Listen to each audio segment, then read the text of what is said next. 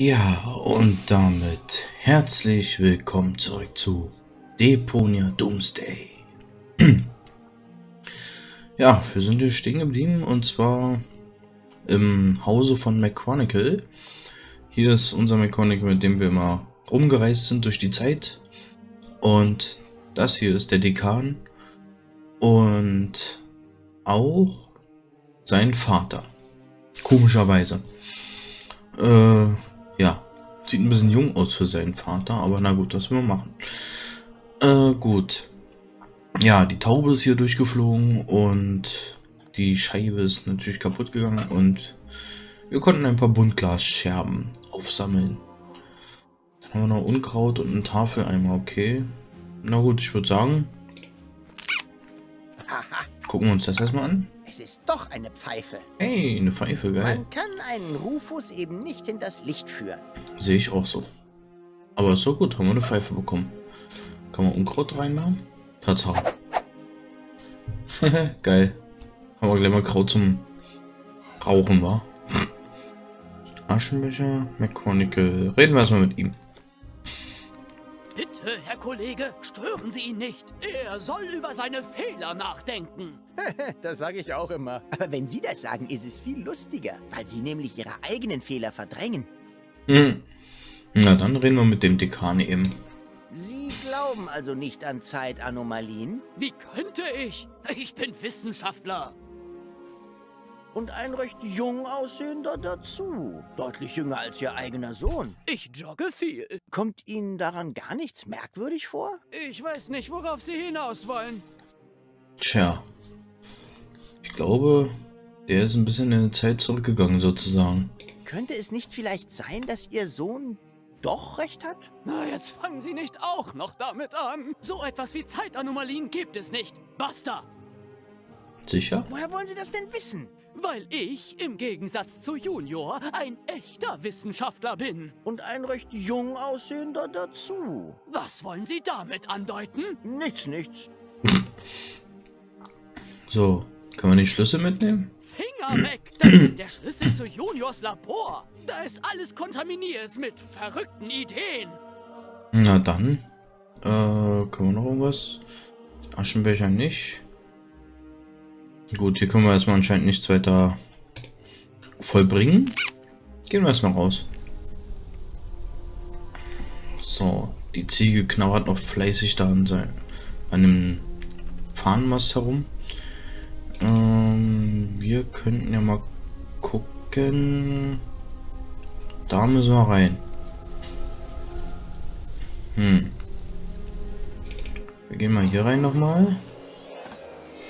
Gol sieht auf jeden Fall sehr begeistert aus. Ähm, zum Turm. Geht's hier noch irgendwo hin? Den Schirm kann ich ja nicht mehr rausnehmen.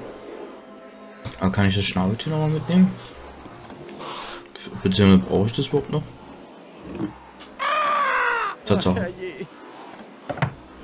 Okay, das muss da bleiben. Ähm, ja, was machen wir denn jetzt? Die Zeit steht auf jeden Fall still.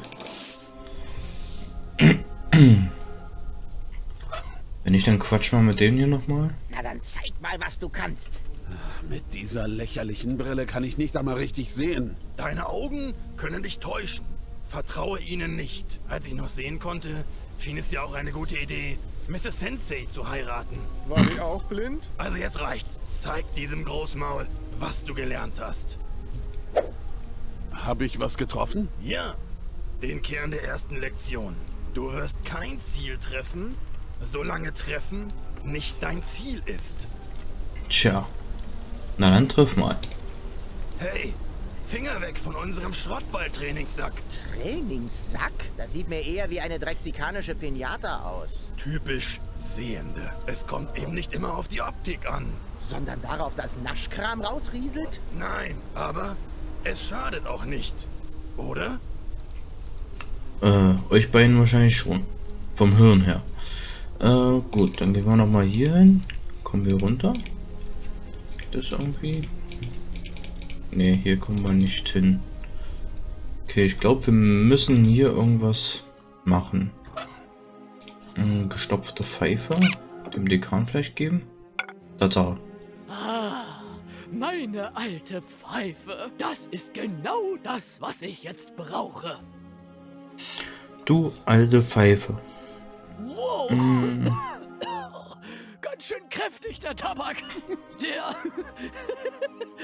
Der erinnert mich an meine Studentenzeit. Wir waren so verrückt damals. aha, dann erzähl mal. So, lololololololo, Kuckuck. Ist uns nicht gut bekommen. Wir haben damals mit allem herumexperimentiert. Mit Pflanzen, mit der Zeit. Und mit Frauen natürlich. Davon will ich nichts hören. Mrs. McChronicle war eine heiße Schnitte. Ich will's nicht hören, ich will's nicht hören. Noch verrückter als er heute. Meiner Mutter hat das gar nicht gefallen. Sie wollte nie, dass ich studiere. Ich sollte die Werkstatt meines Vaters übernehmen. Rocco McChronicle. Er meinte, es kommt nichts Gutes dabei raus, mit der Zeit rumzuspielen. Hat mir den Hintern versohlt. Vor meiner Freundin. Und dabei war ich schon 25.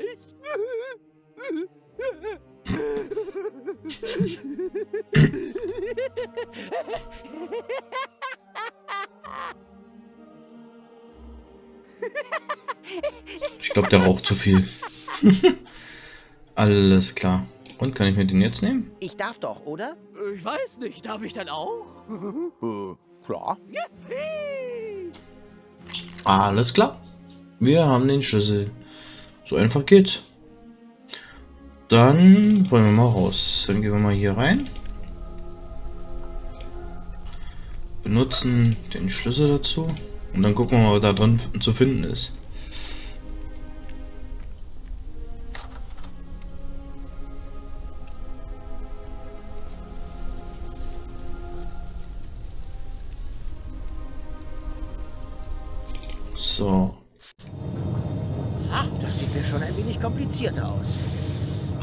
Labor Ich halt. schätze, hierfür werde ich ausnahmsweise einmal doch Hilfe benötigen. Hm, von wem bloß? Ich glaube von McChronicle. Na gut. Ähm, da haben wir die Ziege. Wir gehen mal nach vorne und machen mal den Hebel hier runter. Ich will mal was probieren. Dann gehen wir hier hin und sprechen den nochmal an. Und Schlag! Na, Habe ich was getroffen? Nicht, Die Luft. Solange du spielst, um zu gewinnen. Spiele, um gewinnen, schätzen zu lernen. Hm. Okay. Ah, ihr seid noch da. Natürlich, Herr Rufus. Immerhin sind wir hier einer epochemachenden Entdeckung auf der Spur. Außerdem stehen wieder Raudis mit Schrottballschlägern vorm Hörsaal. Die müssen warten. Wir machen nämlich eine Exkursion. Packt eure Sachen. Wir gehen jetzt ins Nachbargebäude. Danke, Hildebrain. Etwas deplatziert, gibt aber trotzdem ein Sternchen. Lässig. Beeindruckend, nicht wahr? Was ist das? Ich, ich, ich! Nerdbird? Ein impulsgespeister Tachyonfeldgenerator? Im Volksmund auch? Irgendjemand? Der Dicke vielleicht? Ähm, Zeitportalmaschine? Ein Portalmaschine, genau. Denn sie erzeugt ein Zeitportal. Aber wohin? Nein, nein, nein, nein. Na klar, die Zwischenzeit. Der türkise Tunnel, wie ihn die Experten bekanntlich nennen. Und jetzt die Masterfrage. Wie schaltet man das Ding ein? Einschalten? Aber Na los, diskutiert miteinander. Hm, das da vorne müsste der Tachionentank sein. Die Milchflasche mit der Fahrradpumpe? man bräuchte eine Substanz, die Tachyonen emittiert. Dem Geruch nach zu urteilen war da mal Feta-Käse drin. Und man müsste die Düsen so justieren, dass sie sich auf die dünnste Stelle in der Raumzeit konzentrieren. Mit einer 4D-Brille könnte man so ein Portalpotenzial erkennen. 4D-Brille, Feta-Käse. Noch was? Haben doch nicht etwa vor, ein Portal in die Zwischenzeit zu öffnen, oder? Doch. Warum denn nicht? McChronicle hat gesagt, das sei zu gefährlich. Es könnte die gesamte Raumzeit perforieren. Ach, papalapap. Probieren geht über Studieren. Wer nichts probiert, kann nur verlieren. Kommt das in der Klausur? Na klar. Na gut, dann müssen wir uns wohl Feta-Käse besorgen. Ja, hier haben wir ja eine Ziege, die können wir später melken vielleicht. Jetzt brauchen wir aber irgendwie erstmal was. Hm. Wie sieht's bei Mechanica aus? Psst, McChronicle. Dein Vater ist abgelenkt. Wir können los. Geh ohne mich. Er hat recht. Ich muss über meine Fehler nachdenken. Hm. Nein, hat er nicht. Es gibt Zeitanomalien. Ich weiß. Wir haben sie erzeugt und dadurch alles kaputt gemacht. Und dein Plan ist, ausgerechnet jetzt aufzugeben, wo alles am schlimmsten ist? Versteh doch, es ist immer am schlimmsten. Das hier ist keine Schleife. Es ist eine Abwärtsspirale.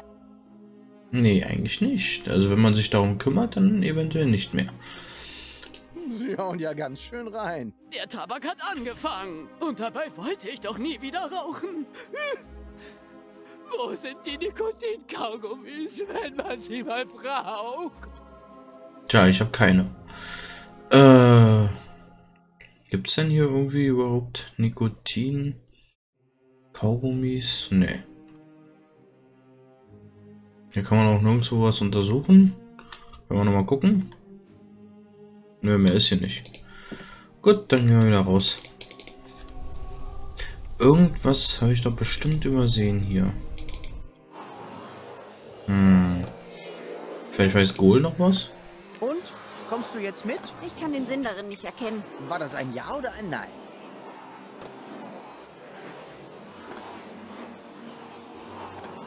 Hm.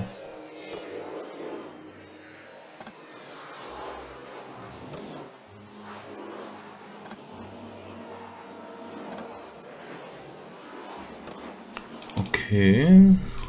Gucken wir mal. Hier vielleicht.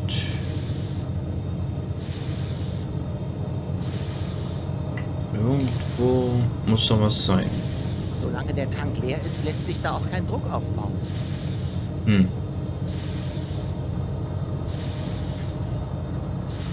Da oben ist ein Bett, da kommen wir wahrscheinlich gar nicht erst hin.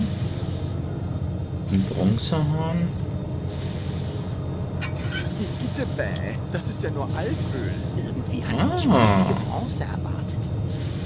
Altöl, das können wir doch bestimmt im Eimer sammeln, oder?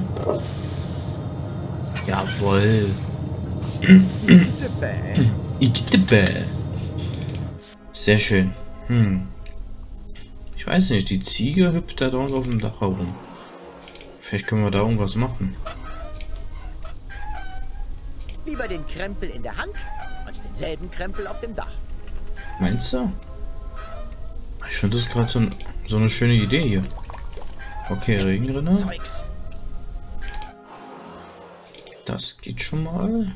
Vielleicht können wir jetzt die Ziege mal zum Ausrutschen bringen.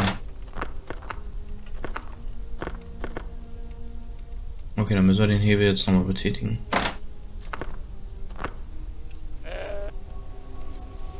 Na, und jetzt muss er doch zuhauen, oder? Jetzt muss er doch treffen hier. Aber voll erwischt. Was ist das? Meine Schleimhäute schwellen an. Anaphylaktischer Schock. Das ist meine Ziegenhaarallergie. Meine Augen brennen. Igitt. Bravo! Du hast endlich etwas getroffen.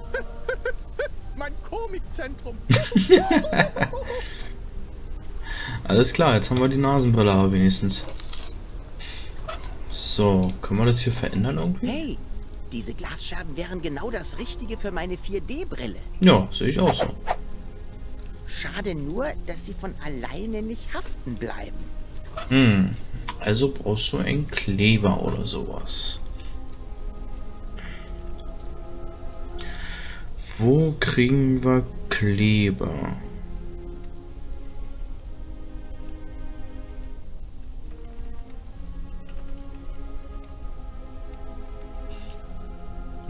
Hat jemand Kaugummi eigentlich?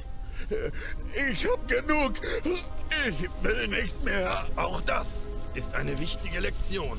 Wer aufgibt, hat schon verloren. Ach, halt die Klappe.